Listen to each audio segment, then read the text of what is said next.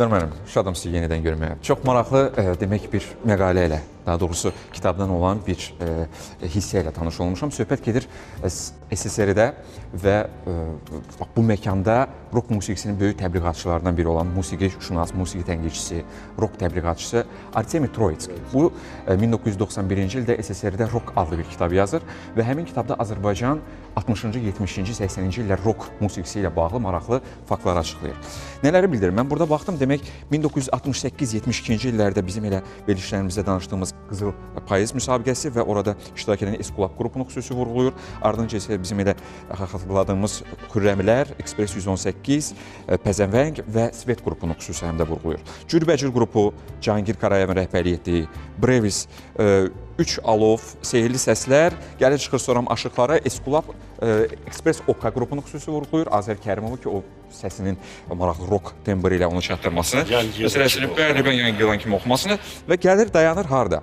1974-cü ildə Bakı sirkində keçirilən son pop festivalda. Orada bəzi pop və rock qruplar 20-dən çox qrupun, kollektivin orada demək fəaliyyətindən danışır.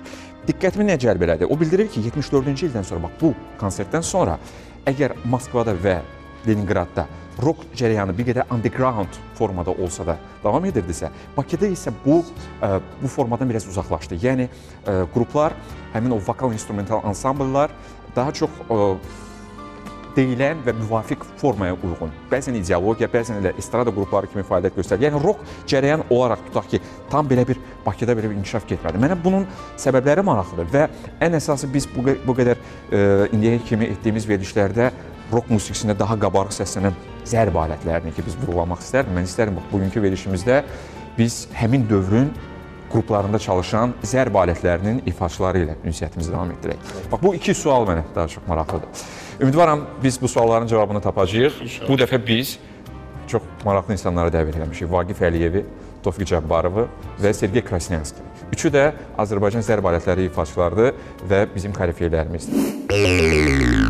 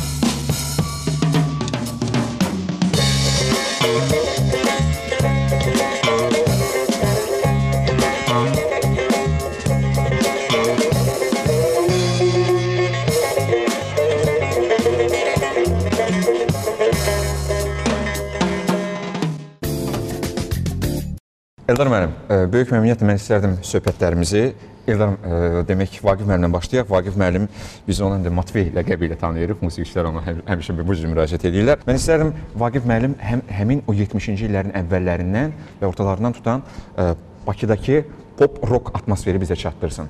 В Баку очень много было интересных роковых коллективов, конец 60-х, начало 70-х. Vaqif Əliyev 1958-ci ildə Bakı şəhərində doğulub. Bülbül adına orta ixtisas musiqi məktəbinin skripka və violonçel sinfini bitirib. Daha sonra zərb alətlərində ifa etməyi öyrənib. Asəf Zeynal adına Musiqi Texnikomunun Estrada Caz fakültəsini zərb alətləri sinfi üzrə bitirib. 1972-ci ildən Abşeron öz fəaliyyət qrupunda çıxış edib. Peşəkar fəaliyyətə 1975-ci ildən Filarmoniyanın Estrada Caz Orkestrində ifa etməklə başlayıb. Daha sonra Polad Bülbüloğlu'nun rəhbərliyi ilə Aşıqlar qrupunda çalışıb. 1983-cü ildə keçirilən Vaqif Mustafazadənin xatirəsinə həsr olunan 1-ci Bakı Caz Festivalının iştirakçısı olub. 2007-ci ildə İsveçrədə keçirilən Montreux Jazz Festivalında Salman Qəmbərov və Bakustik Cazın tərkibində konsert proqramı ilə çıxış edib. 2012-ci ildə Parisdə keçirilən UNESCO-nun 1-ci Caz Festivalında iştirak edib. Hazırda Qaya vokal instrumental ansamblında çalışır. Azərbaycan Respublikasının əməkdar artistidir. Однажды мой отец, очень крепкий, популярный, знаменитый музыкант Сафар Алиев, кларнетист, саксофонист, предложил мне, пойдем посмотрим для тебя интересную музыку. На тот день, э, когда мы вместе с ним пришли, э, был фестиваль «Золотая осень», он проходил здесь э, ручные игры. Ну, я был школьником, занимался музыкой, я ходил в очень хорошую, прекрасную школу имени Бюльбюля при консерватории. Ну, естественно, на тот момент очень популярный был поп-рок. Рок и популярная музыка. Я с отцом пришел на этот стадион, туда войти было невозможно. Народу полно, мест нет. В общем, кое-каким путем мы туда пробрались. Еще никто не начинал эту про- программу. Уже на стадионе стоял рев. Просто все кричали. Что творилось, я вам не могу это описать. Но меня это всего перевернуло. Меня это все перевернуло, и я тоже, как сказать, на следующий день, последующий день решил заняться творческим, э, творчество мое было направление и рок, и все прочее, да, я хотел заняться музыкой. Конкретно э, играть на барабанах, потому что я любил это дело, я пытался что-то воссоздать, но у меня ничего не получалось, потому что э, не было педагога там и все. Ну, посмотрев это выступление, я буквально на следующий день нашел палочки, начал по всем стульям, табуреткам, дома кастрюли, э, от крышки на веревке весил, э, повесил. Да? В общем, стучал, тарахтел, что под, под нами сосед приходил, все время жаловался. Что у вас там ремонт, что вы там творите, я не могу спать, дети жалуются. Все-все. То есть моя жизнь пошла с чистого листа. На тот момент очень много было самодеятельности, много клубов в Баку было, очень много клубов. И во всех клубах э, играли Но почему туда шли? Потому что были инструменты.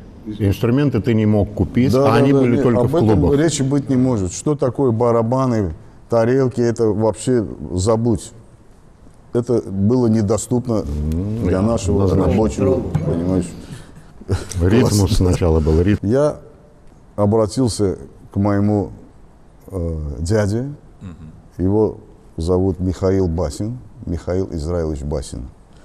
Da musiqçi idi. Он был саксофонистом, хорошим му- музыкантом. Ну, э, в то время все работали в ресторанах, потому что в ресторан, чтобы тоже устроиться, нужно быть хорошим музыкантом. Кого попало, в ресторан не брали. Раньше, да. Да, раньше да. Кастинг, И кастинг. вот Миша Басин э, работал в ДК Ильича на Баилова. Группа Обширон. Музыкальным руководителем Насколько художественной самодеятельности. Группа называлась «Обширон». Обширон. Да.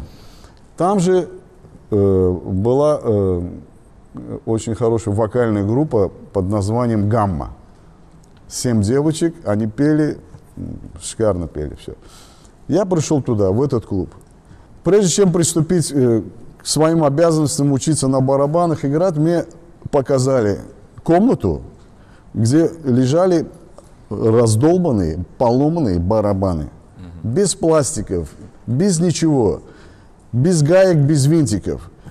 И сказали, хочешь играть здесь?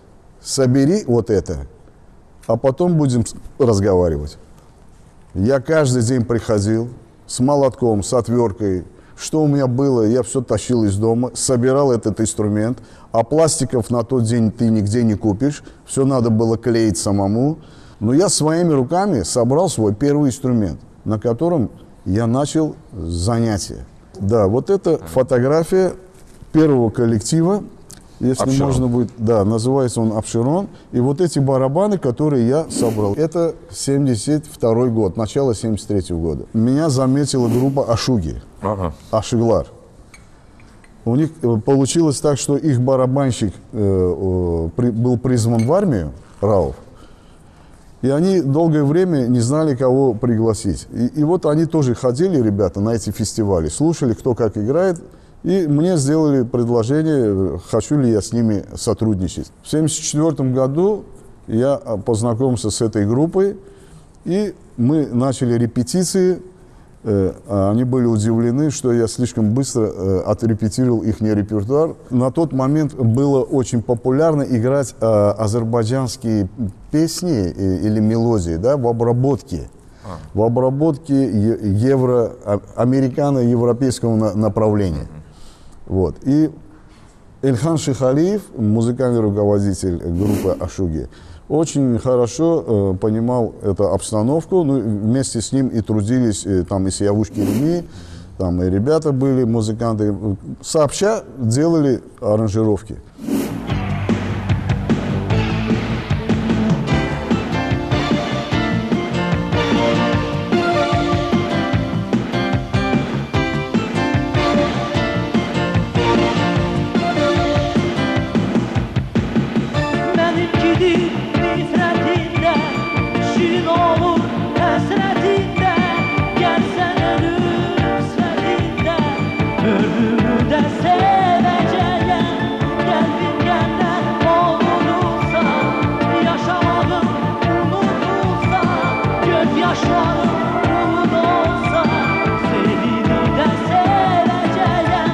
Границы были, да.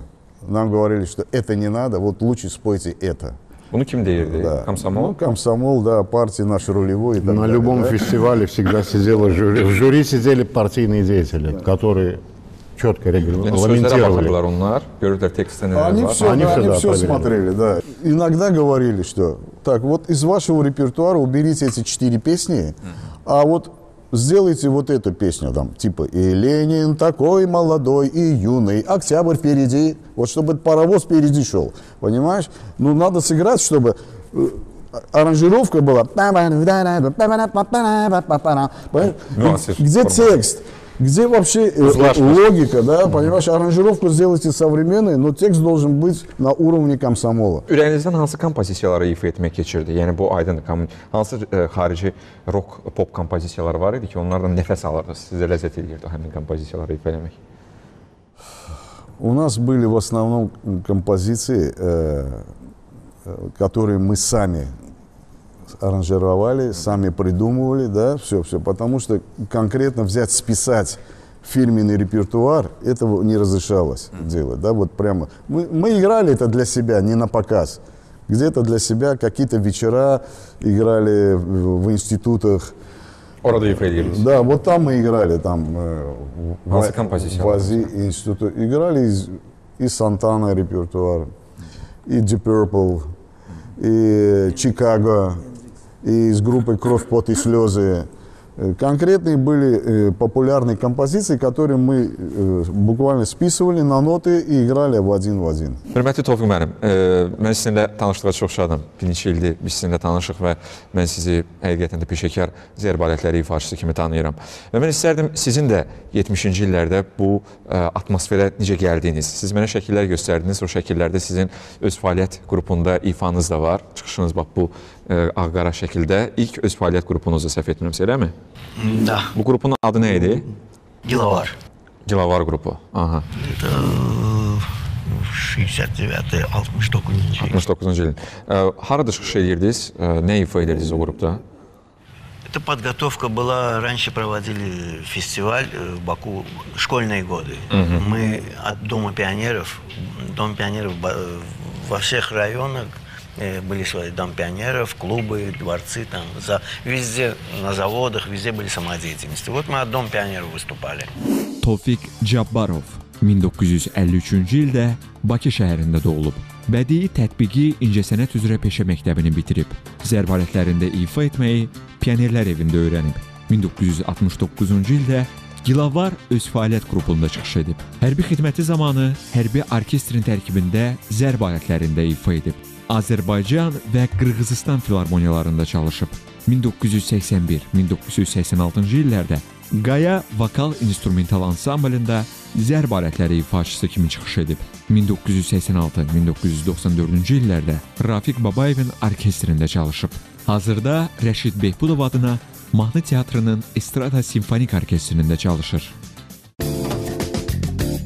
Битлз для нас все было. Битлз и другие группы, естественно, все, вот как Вагив говорил, The Purple, Led Zeppelin, Джимми Хендрикс и так далее. Mənə maraqlıdır. Bu rokun gəlişi və bu kompozisiyaların gəlişi Bakıdakı caz atmosferinə necə təsir göstərdi? Раньше в парках везде были в каждом районе парк. Играли оркестр, духовой оркестр играл. То есть они могли по воскресеньям, субботам днем играть, вечерами танцы играли. И вот обязательно барабанщик был. А тогда мы еще летом были, были такие э, лагеря городского типа тоже. Помимо того, что пионер-лагеря, были еще лагеря, лагеря городского типа. И вот там я играл, э, пионерские барабаны были. Я э, как бы себе, знаешь, так представил, что я играю именно так, как они играют.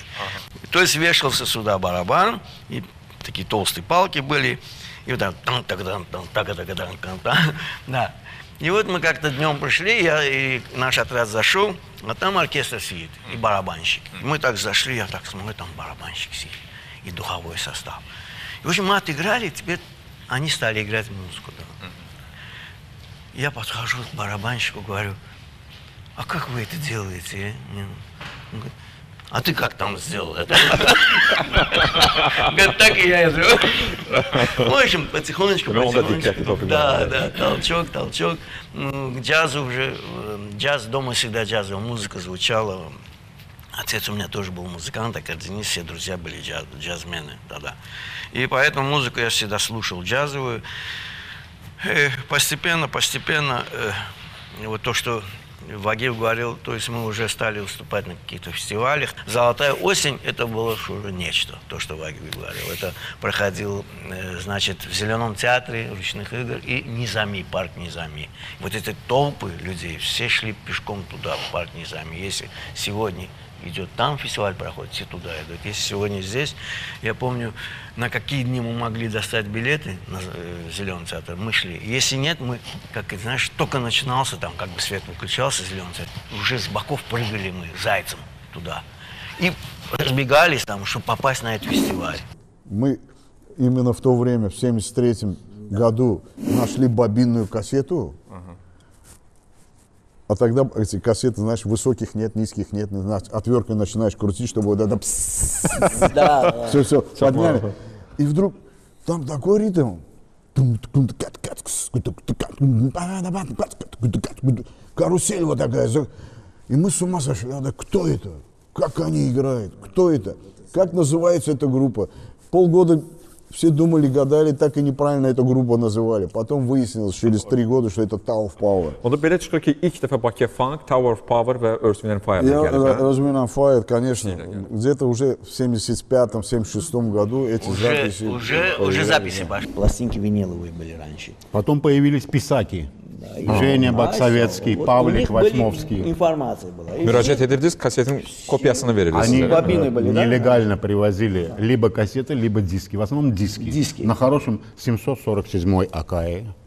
Ты приходишь, даешь 5 рублей и новую кассету. Он тебе пишет два концерта. Бобины были, у всех дома были эти магнитофоны, все эти такие с Ну, это бобинами. позже. не- Ай, не да. у всех, но Да. по- позднее начали приобретаться, потому что техника хорошая стоила баснословных денег. А покупать, э, как сказать, э, советское, там маяк, там, я не знаю, это, как они назывались. Маяк. Айдес, Айдес. да.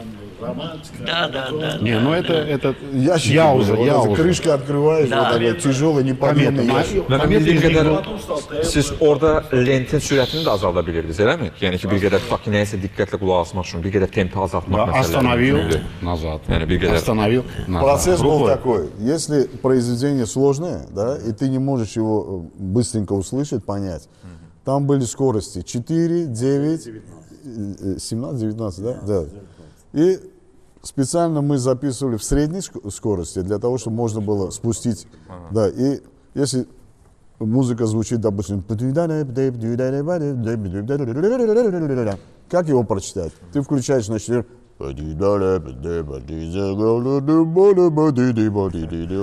Вот так медленно все это снималось, Если ноты знаешь, пиши на ноты. Не знаешь, запоминай. Və hörmətli tamaşaçılar, Vaqif müəllim təsadüfən oxumur o, həm də ə, çox maraqlı ifasə ilə də seçilir. Həm oxuyur, həm zərb alətlərində ifa eləyir. Sergey müəllim, mən istərdim sizin həmin o ə, gənclik dövrünüzü xatırlayaq. Məhz siz hansı kollektivlərdə çalışmısınız ilkin dövrdə? Ну, немножко сложный вопрос. В каком смысле? Я как бы вообще не из этой среды. Я с 20-го участка. Вокруг горы. Я не местный. Я, говорит, не местный. Я, с- я э, Значит, был горы. спец по Горам. воздушкам, по рогаткам, по поджигам. Ну, короче, короче э, зашло это, м, дошло это до такой степени, что меня, короче, грубо говоря, привели уже в милицию. Sergey Krasnyanski 1957-ci ildə Bakı şəhərində doğulub. Zərb alətlərində ifa etməyə İnşaatçılar Mədəniyyət Evinin Orfey ansamblında başlayıb. Dəmir yol texnikumunu bitirib. Musiqi təhsili yoxdur. 1985-2006-cı illərdə Qaya Vokal İnstrumental ansamblında zərb alətləri ifaçısı kimi çalışıb. 2001-2007-ci illərdə Bakı Caz Festivalının iştirakçısı olub. Hazırda Rəşid Behbudov adına Mahnı Teatrının Estrada Simfonik Orkestrində çalışır. Ну, взрыв пакеты, вот это все. Это хулиганство. Шкодил много, озорной был очень. Э, Это было в 15 лет, 72 год, я и не помышлял о музыке. Ну, короче, меня поставили на три года, э, да, на три года на учет на Баилове в детской комнате милиции. А- Анна Мирзоева Тарханова была такая, майор милиции. В общем, меня привели. Оказывается, у них была ленинская комната. Ну, Я не знал, что мне делать. Ну, учете, что значит стоять на учете? Летом меня отправили в Ленкорань, это тогда, как ты говоришь, э, были пионер-лагеря, а это был трудовой лагерь. Понимаешь, да? В общем, Соловки, Колыма. Orada işləyirdiniz. Помогали овощи собирать, в общем, все. Да, но я вдруг случайно открываю дверь, там совершенно зеленая новенькая трова. Барабан. барабаны. Я ее просто обалдел от вида. Я никогда не видел даже близко барабаны. Я говорю, Анна Мирзоевна, а можно будет? Сначала я обращался не к товарищ майор. Потом вспомнил, как ее зовут. Барабаны. И вот как-то я стихаря, только громко не шуми. Я пробовал что-то, пробовал, пробовал. Но у меня, в отличие этого, от ребят, у меня нет музыкального образования. В армии меня пианист был такой Александр Канаки с Ташкента, потрясающий А- Оскар Питерсон. Он меня научил нотам. Я уже в оркестре играл по нотам. Это в армии 75-77 год. А до этого практически была самодеятельность. Но опять-таки мы ничего не старались, потому что были совсем молодые, хотя мне уже 16 было. Через полгода я уже играл Новый год. Э, В Аностуруа судоремонтный завод, где э, мечеть Бибеебатская. Уже я там играл Новый год с самодеятельностью, что-то такое. Да, а потом, да, с, ар- с армии пришел, я тоже не планировал как бы заниматься музыкой, это как бы было хобби. То есть официально я, э, я опять пошел, был такой ансамбль предокостроителей «Орфей», Рамодин Боря, руководитель. Э, Была хорошая аппар- аппаратура по тем временам, потому что были регенты, были биги, это все звучало, и барабаны неплохие. Ну, как-то вот. А сам ДК строителей, он относился, э, директор был м, из КГБ. И мы э, фактически все праздники какие-то, мы обслуживали все э, погранзаставы, начиная от Астаринской, Пришеп и кончая Физули и Гадрутовской. Вот по всей линии. Оставались там, давали концерты. Вот у меня много фотографий. Именно автобус-турист. Мы разгружаемся, даем концерт, едем дальше на заставу. Было интересно, было хорошо, но это все продолжалось. Потом мы, играя в самодеятельности, как бы уже подружились, мы сделали хороший репертуар. Мы купили свою аппаратуру и начали уже ходить как бы по свадьбам. Я, каждый работал по своей работе. Например, Октай гитарист, он был членом партии Бенагадинского, в общем, райоблсовета. Sadəcə musiqi ilə boş vaxtlarınızda həvəskar Да, şəkildə да, да, это была самодеятельность, грубо говоря. Но постепенно выросло, выросло, выросло, и мы были довольно-таки неплохим составом. Но я не контактировал в основном ни с кем. Это как- как-то отдельная республика такая была, автономная. С ребятами дружил, конечно. Первое, как бы напоминание о том, что тебе надо уже расти, это В Гая был Руслан тромбонист. Да, да, да, да. Я его хорошо знаю. Да, Сумгаитский. Серый, Гая барабанщик нужен. А я, Гая, это для меня был что-то Ну, я невероятное, это, да, высоты. Где самодеятельность, где Гая. Я их слышал, я их знал. да, это я после... Я я- говорю, не-не-не, я не готов. Не, в смысле испугался, но я чувствовал, что я не готов. Хотя я был готов. И как-то получилось, это был 85 год. Я уже ушел, да. Тофик, э, играя в Гая, ушел, уходил к Рафика Бабаеву, и нужен был барабанщик. Demək, hörmətli mayorun icazə verməsi ki, siz o zərb alətləri ilə məşğul olasınız, öz bəhrəsini verdi. Mənə nə maraqlıdır, e, o dövrdə, yəni 70-ci illərdə artıq ki, rock cərəyanı ki, Bakıda başlayanda, artıq o vaxta qədər e, ritm olaraq ifa elədiyiniz kompozisiyalarda tutaq ki, cazda swing gedirdisə, artıq rock bitləri tamam başqa bir e, e, istiqamətdə idi. E, Bu e, bunu e, necə qarşılayırlar o dövrdə? Yəni siz yalnız qulaq asaraq e, öyrənirdiniz həmin e, tutaq ki, maneraya, yoxsa o dövrdə mü- müəyyən müəllimlər var idimi və sizə qədər olan zərb alətləri ifaçıları bu cür yeni bitlərə, tutaq ki, rock bitlərə, yeni funk ritmlərinə necə yanaşırlar? Onlar biraz konservativ yanaşırdılar ki, tutaq ki, bu nədir? Tutaq ki, swingdən başlamaq lazımdır belə. Bax bu e, məsələləri necə həll edirsiniz? Анджах куда осмал. Qulaq asmaq. Мы все через уши только прошли. Естественно, у нас были здесь э, от кого отталкиваться, но это не то было. Такой школы здесь сказать, что джаз-рок или джазовый, такой, можно сказать, что... Kimlər ifa eləyirdi Tofiq müəllim o vaxtları sizə qədər burada Bakıda populyar zərb alətləri ifaçıları kim idi?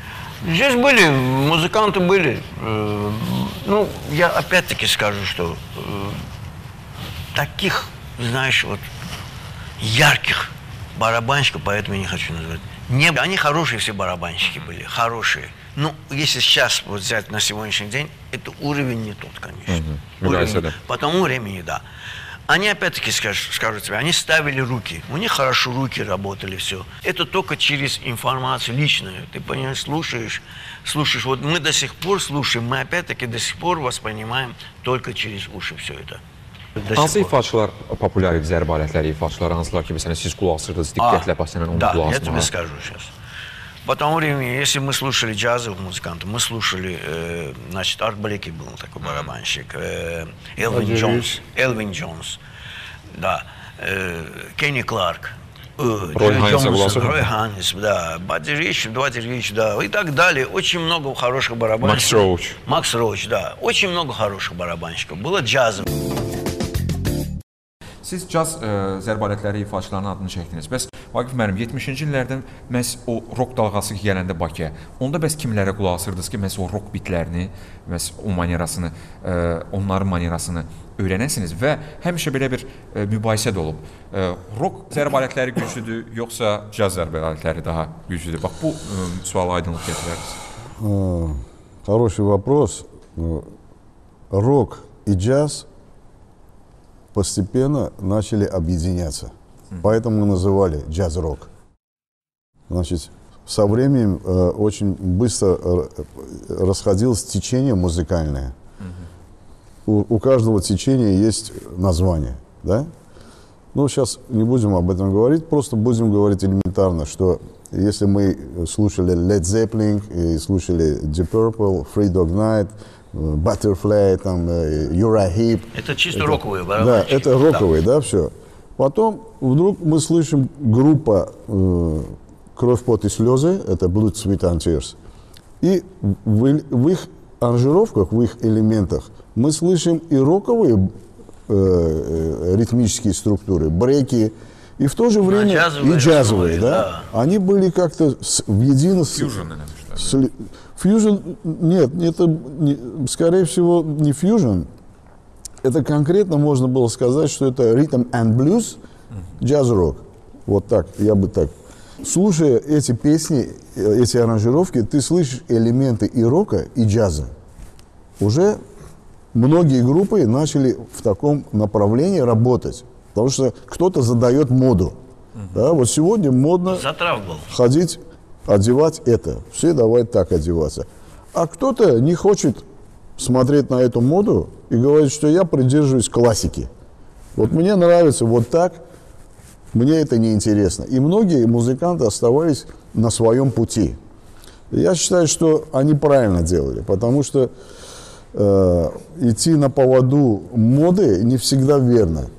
Ты можешь отметиться там, в этой моде, да, и вернуться обратно. То есть показать, что вот, пожалуйста, вы хотели это, я это сыграл. Я это умею. Я это сумел, все. Но мне интересно быть индивидуалистом, да. Я хочу идти по своему течению, по своей дорожке. И до конца своей жизни оставаться.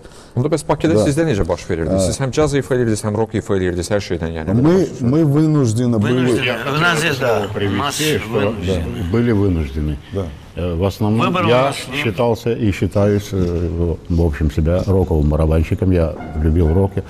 Deep Purple – это моя любимая группа, Ян Пейс. э, Это все начиналось с ритмов оттуда. Когда создали бенд, уже 30 человек, джазовый, 80-ci illərdə, bəli, böyük big band. вот бенд. Rusiyadan Я остался перед выбором, мне уходить или Aha. я не играю эту var. музыку. И мне всучили Бади Рича и сказали, Иди слушай. иди слушай. Ну, я наслушался и дошел до того, что Бади уже Сазиз и Мустафа Заде выступал на площадках таких, как э, вместе э, состав Джеймс Брауна, Тани Мария, и я с Эмилем Афратьяевым, с Русланом, э, с Севой Аликпер Заде, с Азизом Мустафа Заде.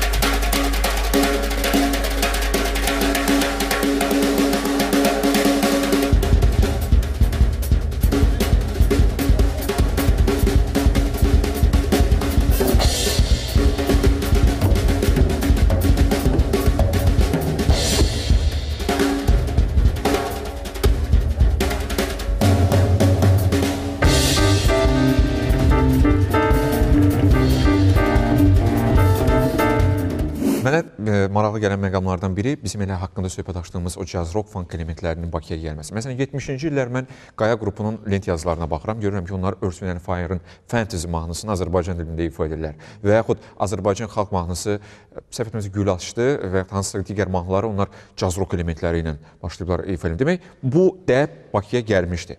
Və və bu dəbdən sonra e, siz siz mənə hətta maraqlı bir e, epizodu vurğuladınız Sergey ki, məs tutaq ki, caz rock Azərbaycan ritmləri üzərində rock da ifa edirdiniz. Tutaq ki, yalı ritmi üzərində Deep Purple-ın чисто- в чистом виде ее невозможно было исполнить, как Ваги говорил, это конкретно было запрещено. Но делалось так, бралась тема Деперполовская, вещь азербайджанская, но хоть кусочек какой-то можно было вставить. Ну, тум-тку-дук-тум, гага-тку-дук-тум, так-тку-дук-тум, гага-тку-дук-тум, та-да-да-да-да-да-да-да. Deep Purple пошел. Полностью. Sergey burada isə yalı ritmi. Чтобы начало я был. Вот фотография, если покажете поближе, на которой э, изображены участники этой группы Габустан. Это 83 год. Э, Дело происходило на телевидении. Мы дали очень хорошее выступление. У нас программа была просто супер. В стиле джаз-рока. Была национальная музыка, но так было сладко и вкусно аранжировано, не было человека, который бы сказал, что вы там переборщили, не так сделали, это надо было не делать. Все с этим согласились. Əmirov idi rəhbər. Джамиль Амиров был руководитель, Акиф Исламзаде у нас был солист. И На заднем плане вы видите музыкантов. Это Тарлан, гитарист, это Сьявуш Кереми, это Алик на контрабасе, э, басист, барабанщик я. И вот здесь э, скрипач Вахид, да.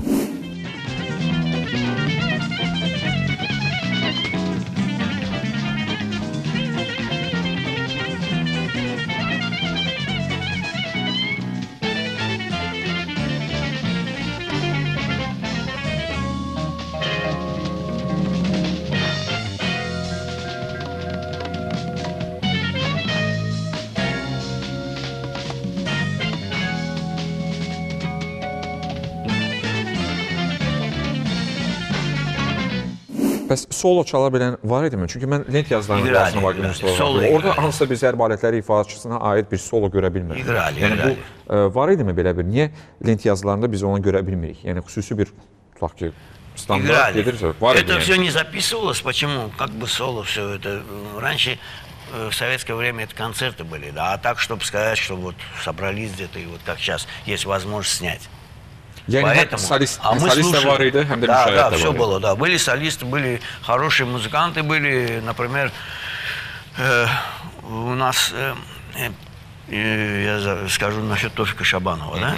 Это э, саксофонист, которого до сих пор еще не, это единственный саксофонист, который был именно такого уровня мирового стандарта.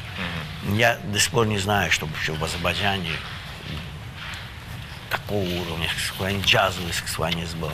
В нем все сочеталось. Это 81 год, э, Гая. Э, мы где-то пересекали границу. Границу с Руандой, Бурунди, я купил королевские бананы за один доллар.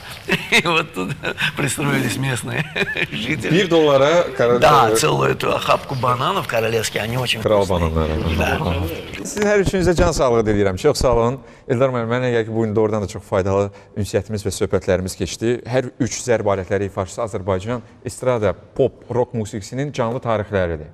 Bu gün onlar bizə həmin dövrün atmosferini yaşatdılar və nə yaxşı ki biz bu verilişi etdik və bu söhbətləri qeydə aldıq ki, bunlar bizim tariximizin yaddaşına əbədi həkk olunacaq.